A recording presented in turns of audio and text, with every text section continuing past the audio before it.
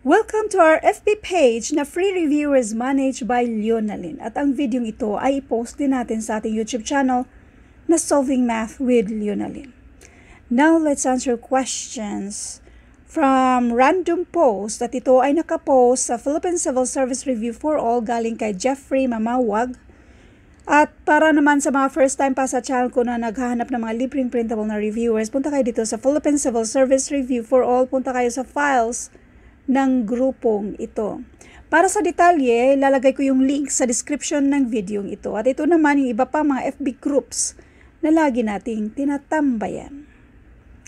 Sum of consecutive numbers, yan yung mga problems natin ngayon. The sum of five consecutive integers is 120. What is the third number in this sequence? Let's do solution number 1. 120 divided by 5 and that, that is 24. So yung 24 na yan, yan yung nasa gitna. Before that, meron tayong 23, 22, then 25, at 26. What is the third number? 1, 2, 3. So yan na yung sagot. 24. Another way of solving this, let x or n, n na lang, be our first number. Sum, so i-add natin. I-add natin sa second number which is n plus 1. Second number, third number, n plus 2. So 1, 2, 3. Ang fourth number, n plus 3. At ang fifth number ay n plus 4. Ang total dyan ay 120. I-add muna natin yung mga like terms. 1, 2, 3, 4, 5. So we have 5n plus 1 plus 2 plus 3 plus 4. And this is 10. At ang total dito ay 120.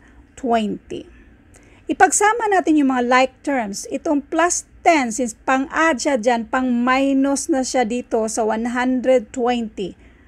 So, 120 minus 10, this is 110. Then, kopyahin muna natin si 5n. Siya na lang ang natira dyan. Now, para ma-isolate naman natin si n, since si 5 ay pang-multiply sa n, pang-divide naman ngayon siya, So, 110.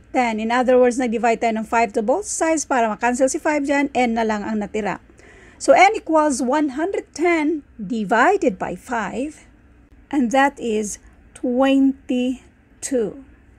So, therefore, what is the third number? Ito yung 1, 2, 3. Yung third number ay n plus 2. Yung value ni n ay 22 plus 2 equals 24. Kaya sagot nito, 24. Next, sum of three consecutive numbers is 48. Determine the numbers. Doon muna tayo sa shortcut. 48 divided by 3 and this is 16. Si 16, yan yung nasa gitna. So, before 16 is 15. After 16 ay 17. Determine the numbers 15, 16, 17. Another way of solving this, doon tayo sa algebraic way of solving this. Let x be the first number. Tapos yung second number natin ay x plus 1 at x plus 2 yung third number. So, i-add natin yan siya. I-add natin yung mga like terms, 3x. And this one is 3. So, 3x plus 3 equals 48. Ma'am, iba man yung pagka-add mo sa ginawa nyo sa first na problem. Pareho lang yan siya kung gawin natin siyang horizontal or vertical. Nag-add lang naman tayo. So ngayon ipagsama natin yung mga like terms. Itong si 3, since pang-add siya dyan, pang-minus naman siya dito sa 48. So we have 48 minus 3, 45. So nandito pa rin si 3x.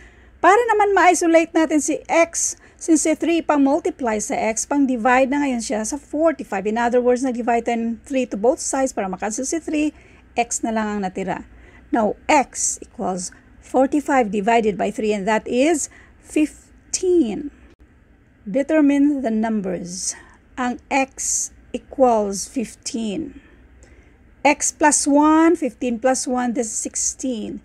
Then x plus 2, 15 plus 2, and this is 17. So ang sagot dito ay 15, 16, 17.